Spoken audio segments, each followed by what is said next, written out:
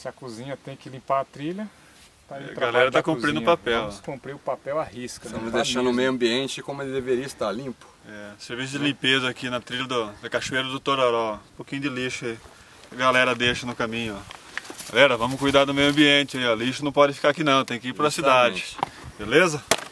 Lixo na É, cidade, não é saúde, mas vamos cuidar da natureza, do meio ambiente aí que a gente pedala, né, galera? Isso aí, show de bola. Vamos lá. Muito bem.